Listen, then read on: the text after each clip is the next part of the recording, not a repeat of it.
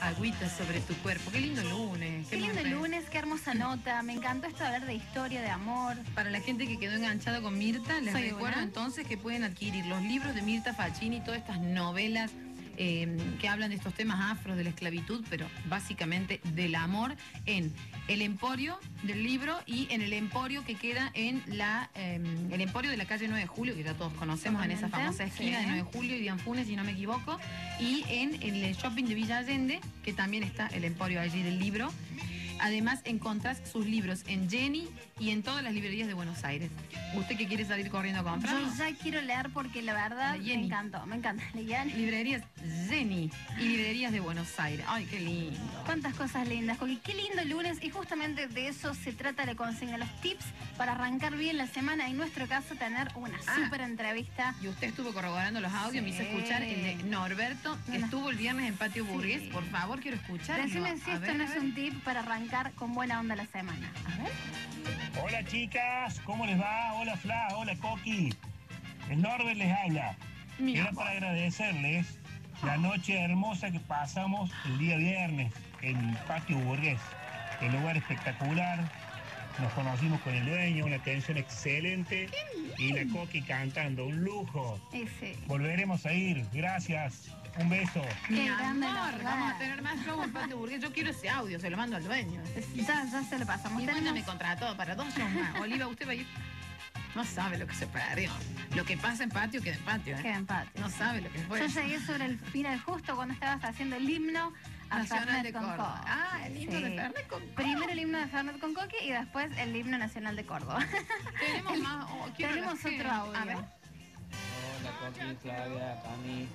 Con respecto a la consigna de hoy, para levantarme pila un lunes, eh, me mentalizo con que a la noche me voy a comer un alto asado con un Claro, ¿quién no? Eh, entonces me mantengo todo el día pensando que voy a comer asado a la noche, por más que después cuando llego a mi casa me termine clavando un guiso de fideo moñito. No, bueno, por lo no menos le puse quietud durante todo el lunes pensando que me iba a comer un asado con un fernet.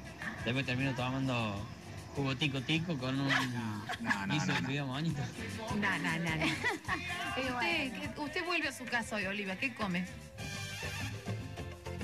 Lo que hace. No lo- sabe. Lo, que cocine. Lo que haya. Lo que encuentra en la heladera, ¿no? no Ay, sé. esa voz erótica. Quería escuchar la gente. Ah, ¿Usted mira qué que- come? ¿Hoy te come hoy? Yo hoy que- voy a. voy- no me hagas señas del otro lado que así no, se puede. Yo sigo con el matambre a la pizza.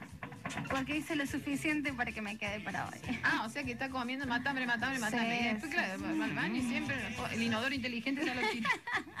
Estoy pensando El inodoro sabe que es inteligente y dice, mm, matambre a la pizza.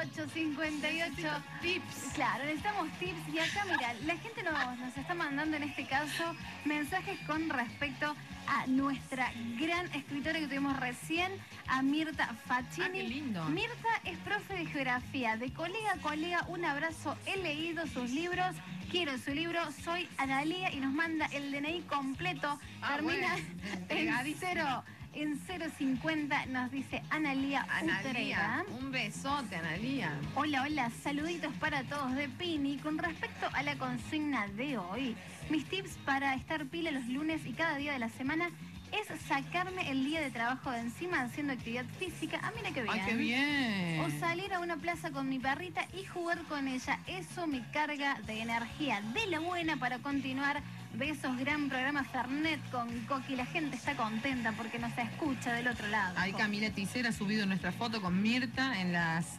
redes de, Pul- de Pulso, que es PLX Pulso 951. Nuestra fotito con Mirta, así que allí nos pueden mandar todos los comentarios que quieran, sobre todo los tips. Chicos, no saben lo que es este libro. Si se lo quieren ganar, vamos. Sigan escribiéndonos y mandando mensajitos. ¿Y sabe qué? Coqui, hay Hablando- información. ¿Qué pasa? Hablando de paranormal y todas esas cosas. Qué miedo que me da. Escu- eh, me estoy comiendo, eh, bueno, ¿conocen el chupetín pico dulce? Sí. Bueno, vienen los caramelitos Sí. con el mismo sabor, que creo que también se llama pico dulce. Sí, ¿no? Ay, Oliva.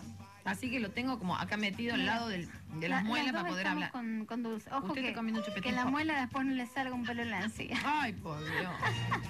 Las caries que tengo. Así que estoy comiéndome ese caramelillo hasta que casi me lo trago cuando leí No, esto. no, no. ¿Qué pasó, Coqui? Estaba a punto de cremar a su esposa. Mm, El placer, imagínate. No. no, escuchame. Y si no saben qué Vos hacen con la- decís que si pasa, pasa. Ay. Intentó. Ay, ¿qué Pero es eso? gracias a un detalle. Para, para, es perturbador ese sonido. ¡Ay, la cajita de música! ¡Ay, mira la cara que pone! Cara de payaso degenerado. del otro lado está apagada la, la luz en la oficina de La Domínguez. oficina de domingo. Yo veo una silueta ahí, No, pero no, Coqui. algo... No, Sácame la cajita musical. ¿Quién es Castro que está ahí adentro? Escúchame. Ay, no, no, sacame esa cajita de música. Escucha, escucha. Expedientes X. Ay, qué miedo, por Dios. Yo esta noche estoy durmiendo sola en mi casa, como hace muchas noches ya. Suena, suena Porque una estamos cajita. complicados. Eh, y empiezo a escuchar una cajita de música en la otra Ay, habitación. No, Coqui, no, no, no. me muero muerta. O sea, me muero y después de muerta me vuelvo a Y si morir. no tenés cajita musical y suena lo mismo, peor todavía. No, yo me refería a eso, ya no tengo cajita musical. La tenía de chiquita, pero ahora no tengo. Imagínate, Ah. empieza a sonar una y aparece ahí en el medio del piso. No, chicos. Yo las guardaba en el ropero y de repente empezaban a sonar en medio de la noche. Sí, sí, sí, las tenía en el ropero bien adentro y Seguro que eran las cajitas musicales. Eh, no lo vamos a saber. Escúchame, estaba a punto de cremar a su Sí. esposa, pero pasa- gracias a un detalle se dio cuenta de que estaba viva, Eh, mirá, gente. pavo. Pinji, no, Pinig Sopajorn. No, me está. Para. Camila, ¿qué es esta noticia? Pinig, le vamos a decir. Pinig Sopajorn, sí. De 70 años. Pinig Sopa, Pinig Sopajorn, de 70 años. Fue declarada muerta a causa de un tumor de tiroides Mm. y conforme al ritual budista, permaneció durante tres días en un templo dentro de su ataúd. Qué bárbaro eso, tantos días. El olor. Pero cuando Mm. estaban a punto de cremarla, ¿Qué pasó? su esposo se dio cuenta de que estaba viva gracias a un detalle. El hombre, de nombre Tawin ¿Qué Sopajorn, son hermanos? ¿Qué está pasando acá? se acercó al supuesto cadáver de su esposa. Estaba el fiambre ahí podido después de tres días. Para. Para, Para limpiar, limpiar- su no. rostro con un paño húmedo, como dicta un ritual tradicional. Ah. Al rozar la cara con el paño, el hombre notó que el cuerpo de su compañera no estaba rígido Nah. y notó un leve temblor en sus párpados. Tawin, Wow. el negro Tawin, percibió que había una suave respiración en el cuerpo de su esposa. ¿Sabes No, cómo demando al médico? escuchate esto, no me muero. De inmediato, yo salgo cagando. Este dice, de inmediato abrazó el cuerpo y llamó a sus hijos, quienes pensaron que su padre alucinaba. Claro. Pero cuando los paramédicos le brindaron RCP, la mujer reaccionó, por lo que fue trasladada a su casa, Oh. donde elevaron su temperatura corporal con ayuda, corporal, me salió puertolico, con ayuda de botellas llenas de agua caliente. Mm. Los hechos ocurrieron en Oh. Tailandia y aunque la condición de la mujer es delicada, Tawin, de 73 años, se quiere cortarla. No, mentira. Ese. Dijo a los medios locales que permanecerá al lado de su esposa hasta que de verdad Ah, está fallezca. esperando que fallezca. Qué mal. Ay, chico, ¿sabes lo que es que te empiece a mover los parpaditos ahí? Poneme el efectito. Tiqui, tiqui, tiqui, tiqui. Ay, no. Salgo caga. Pará, ahora, qué ganas de tener tres días un, velatorio. No, sí, no podemos. A ver, hay que respetar, es una tradición. No, yo tuve, yo tuve. Mi, budista dice. mi abuelo estuvo tres días también. eh, de, un día y medio en Córdoba y un día y medio en Villa del Totoral. Ya al final estaba amarillo. Ay, no puede contar eso. Desde ahí, vos sabés que no me gustan los desodorantes de ambiente con olor a flores. Porque imagínate, tres días las coronas ahí ya se estaban echando a perder Es las que sí, flores. las flores largan olor. Bueno, las que me regalaron el otro día, las flores, que al final no sabemos Sí. quién las mandó. ¿Quién las mandó? Habrá sido un espíritu del más allá, porque a mí no me regalan flores, menos romanticismo y en mi vida. Ay, Coqui. Yo no sé qué le pasa a los hombres, pero digo, Va, sáqueme la cajita musical que me hace mal. Les tengo que confesar algo, no sé quién mandó las flores, pero se pudrieron en mi auto que durmió bajo el sol. ¿Por qué no las bajaste? El olor a cementerio que había en el auto de Fernanda.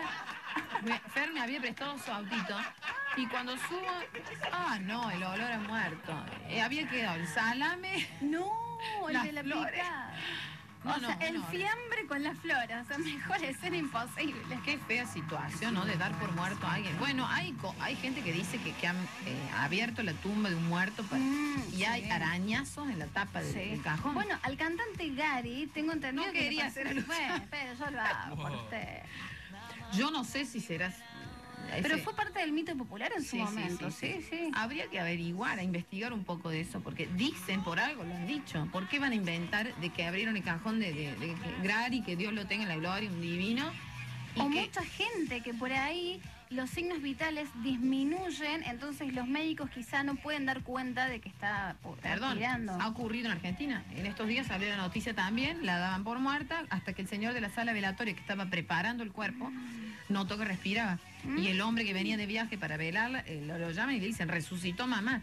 No, bueno, no resucitó, nunca se murió, así que estaban eh, ahí con un conflicto con la directora del hospital que la dio por claro. muerta y no estaba muerta. Yo les pido, por favor, que corroboren, si métanme un patadón en una cachetada, a ver si estoy vivo o muerta. Esperen no es joda, esto no es joda, papi. Ya sabes que me levanto y digo, traigan Fernet.